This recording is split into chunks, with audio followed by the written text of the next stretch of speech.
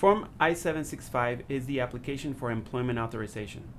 Generally, it's used by foreign nationals in the United States with certain non-immigrant visas or pending immigration applications that allow for temporary employment during their adjudication period. Form I-765 is used to request your first work permit or request a replacement of a lost, stolen, or damaged work permit or request renewal of an expired or expiring work permit.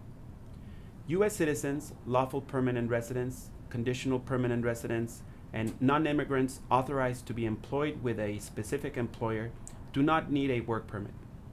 Additionally, applicants must belong to a specific eligibility category. This is a lengthy list that can be found by reviewing the instructions for Form I-765 on the USCIS website or by taking the eligibility quiz on the CitizenPath website.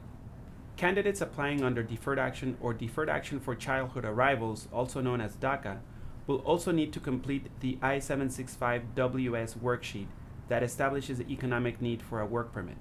This is a simple worksheet that can be completed fairly easily. Once you have a work permit, it is valid for one year. In some cases, it may be valid for longer. You will need to renew it within 120 days before its expiration date. If you have been arrested or convicted of a crime or offense, you should consult with an immigration attorney before filing Form I-765. People with straightforward cases can usually file by themselves. CitizenPath, a company developed by immigration attorneys, makes filing for a work permit quick and easy. Simply select Form I-765 from the menu and follow the step-by-step -step instructions. It's also free to try.